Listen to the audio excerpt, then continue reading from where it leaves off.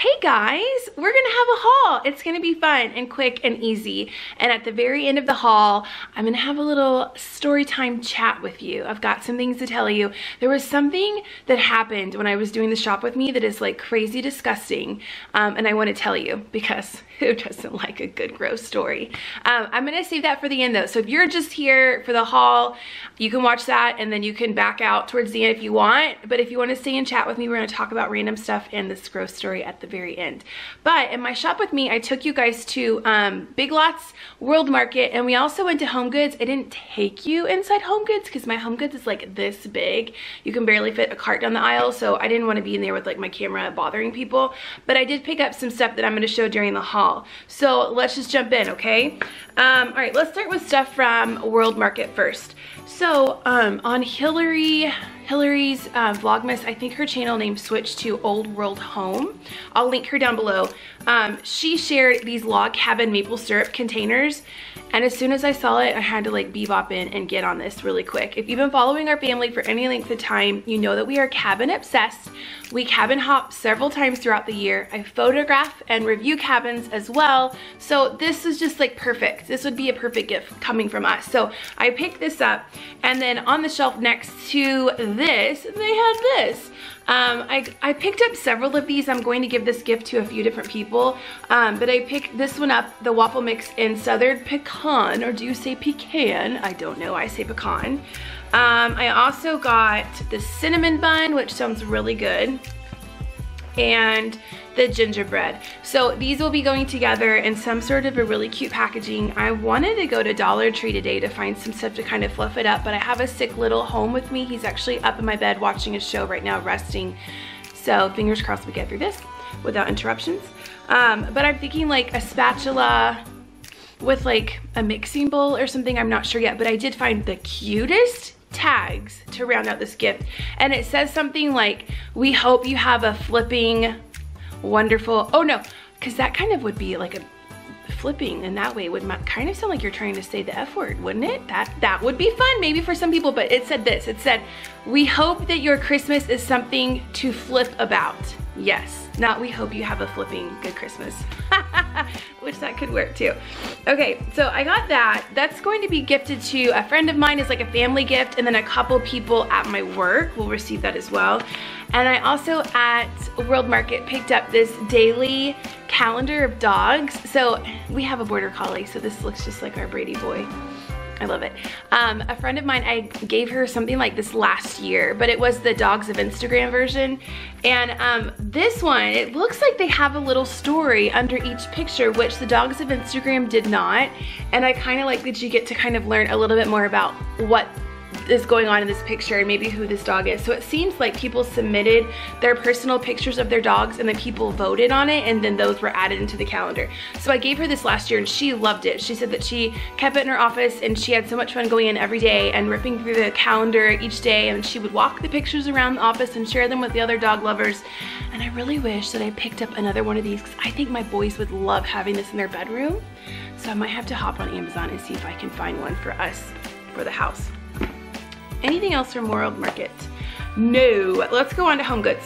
Okay, at Home Goods, I found this really cute stationery set. So the front of it says North Pole Mail Letters to Santa. I'll see if I can show you what's included in it. I mean, I could probably just open it because I am keeping it for myself, you know? Let's open it.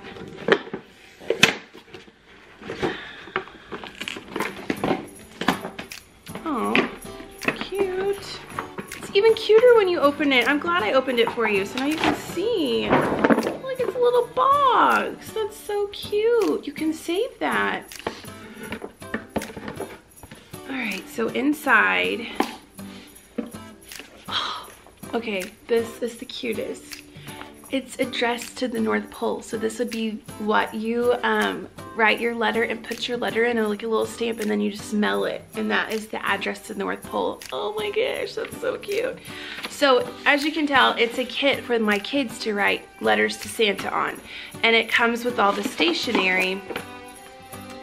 Um, this one says, from the desk of Santa Claus, the North Pole. They give you a set for for Santa to write a letter back to the children. So maybe he would leave it on Christmas Eve um, and he could use this stationery. It's so cute. It has his little seal down here and it has like a little bit metallic like the Santa Claus part and this little candy cane around the banner is metallic. So it has that. It has several different ones. So you could, if you have multiple children, you could have one for each child. Um, it has stickers. So the ways to kind of seal the envelopes. And it has these. This says to Santa Claus, 25 Candy Cane Lane, North Pole. okay, maybe this is the one this is the one that they put their own, I don't know. You get the point, but there's there is stationery for the kids to write a letter to Santa on with stickers and special envelopes, and there's a set for the parents to write back as Santa Claus to the children.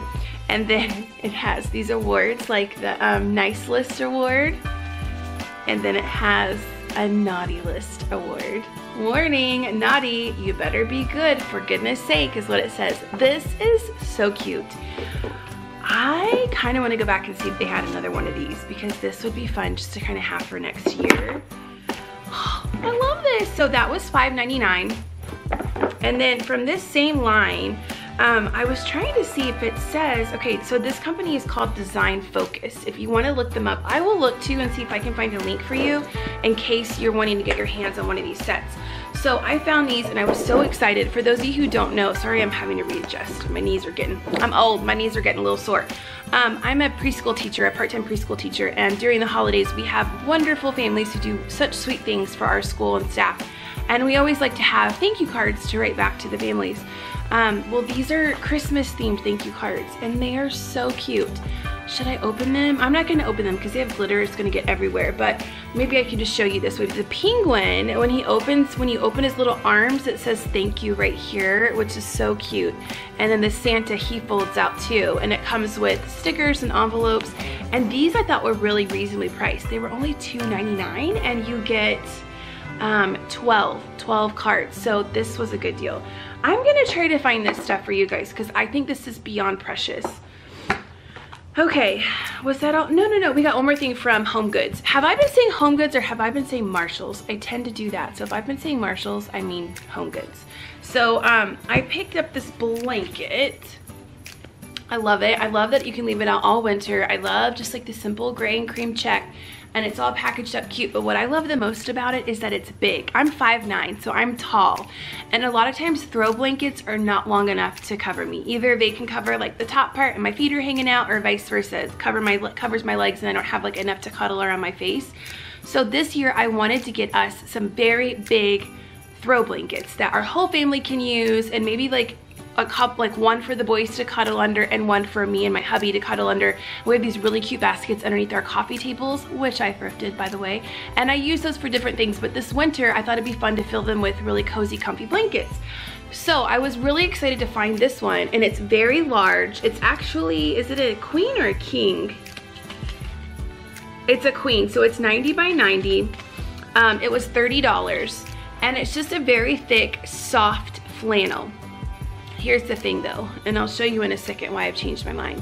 I am doing a gift exchange for our family, like a white elephant thing with like my mom and brother and those the, that type of family.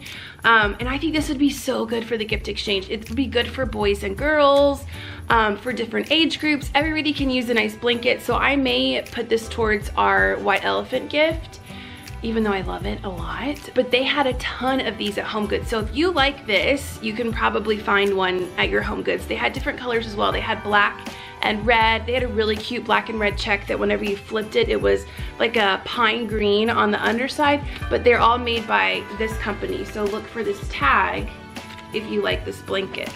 So there's that. That is all of the home good stuff. Let's go on to Big Lots. I love Big Lots. I feel like nobody talks about Big Lots. At least in my little world, I don't see Big Lots mentioned very often. But they do seasonal stuff so well. They do stocking stuffs well. They're really good for like little knick-knacky type stuff. Oh, and their Christmas ornaments, did you see in the shop with me? They have the cutest Christmas ornaments. They're like a little package of them. I do so many things with those. I add them to um, gift baskets. It's like a little topper. I add them to gifts. I, of course, put them in our tree. I will show you that. I'm gonna take you on a little tour of the tree later on. So you're kind of seeing a little peek right now. Um, but a lot of our stuff on our tree is from Big Lots. So I went in there looking for stocking stuffers for my five-year-old, my four-year-old, and just like gifts to kind of fluff out some things I'm trying to put together, like gift basket type stuff. And I found some really good things. So I got this for my niece. It's a little onesie with a cat head on it. She is a, a cat person and a dog of family lovers. Um, this was only $15. It's very soft and she's tall and long-legged like I am and I like that it doesn't actually have the footy part because I feel like if you're tall and have longer legs, like the feet would kind of get like restricting. So it actually cuts at the ankle so that her feet can be free. Um, so they had a unicorn, they had a cheetah, they had all kinds of different ones, but I picked up the cat for her, so I think she'll like that. And then I didn't bring it here, but at World Market, I also got her some eye mask, like under eye mask, a lip mask, and a face mask, and I'm gonna package it all together so it's like a cozy little uh, night at home. Um, Okay, let's talk about blankets some more that's a lot of what I have right now around me, or blankets. Um, we are doing the Christmas mailbox with my boys, and if you are not really sure what that's about, I will link that down below, but it's just a tradition that we do every um, Christmas season. So one of the days I'm gonna put tickets in there to go see the new Wreck-It Ralph movie, whatever it's called, like Breaks the Internet or something, and our movie theater gets really cold, and my boys, I always like, they take their jackets and put their jackets on their legs, but I thought it'd be fun for them to have like little blankets that they could take. We don't have small little blankets for them that aren't like cumbersome to take into a theater. So I saw these at Big Lots and thought they would be perfect for that. So the day that I put those movie tickets in the mailbox, I'm gonna put these in the mailbox with it so they can take these to the movie. The print is so stinking cute. Let me see if you can, the camera will pick it up. Kind of. You can kind of see it. Come on, camera. Don't look at my face. Look at this cute blanket. I think you can see it. It's hard to tell. But it's gnomes, little gnomes all over the blanket. So this isn't specifically a Christmas blanket. We could really use it anytime. And honestly, if it was Christmas, I would still use it all year. I don't really care. But it's cute and it was only $6 six dollars they have so many prints they had a really cute penguin one also so i got one for each boy and then in regards to the whole blanket thing and wanting blankets for baskets underneath my coffee table. My coffee table is right behind you, which is why I keep pointing this way. And I'm looking at the baskets right now. So um, when I was at Big Lots, I saw they have tons of blankets at Big Lots. And they have some that are on pretty, like a pretty good sale right now. But again, I'm looking for large and in charge blankets. Ones that you can really just like wrap all the fabric around you while you're cozy on the couch and watching a movie or reading a book. And I found this one. It's already opened. It was wrapped really cute like this one is, you know, with like a ribbon and all folded all nicely. Uh, but we ripped into this as soon as I got it home. It is so soft. A lot of times this soft kind of material, there's a certain kind where if you wash it, it starts to kind of clump together and then it doesn't feel as soft as it does when you first got it home. This one's not going to do that. Do you know what I'm talking about? There's a difference between this type of fabric um, they had one that I also thought about getting. It's really soft. It was like a faux fur, but when I pulled it a little bit, the fur was coming out everywhere and that would just be annoying. So I was really excited to find this and I just like a good neutral basic print. So um, we've been using this a lot and then my little guy, he's sick. So he was actually laying right over here on that couch all cuddled up with this blanket today and that's perfect because that's exactly what I wanted to get stuff like that for just something to have so that we can cuddle in the winter. Um, I think that's it. That's it. That's all that I can show you. I did get some stuff for my boys' stockings, but I'm going to do a whole separate stocking stuffer video and I'll show you that stuff later. And there's just some other like bigger things that I don't have here to show you right now, but you got to see some cute stuff. So, um, let's get to the chat part of this whole chatty haul thing, okay? So when I was in World Market, this is kind of a gross story, but I'm gonna tell you. When I was in World Market, I had to go to the girls' restroom. And I was wearing some sort of like, maybe a jacket with like a hoodie on the back or a sweatshirt with a hoodie. I had something that was like hanging back here. So when I was going to pull my pants up in the potty, from the potty, my hoodie knocked over their like bathroom spray stuff. They had two cans of bathroom spray on the back of the toilet and my hoodie knocked it over. When it knocked it over, the cans went like whoo, whoo, whoo, whoo, whoo, like flying in the air and hit their toilet bowl cleaner, like the actual thing that you clean the toilet bowl with. And it was sitting in this like little circle thing, you know, the thing that keeps it upright. And all the yuck water from whoever's cleaned the toilet and just stuck it back in there is like hanging out in that thing.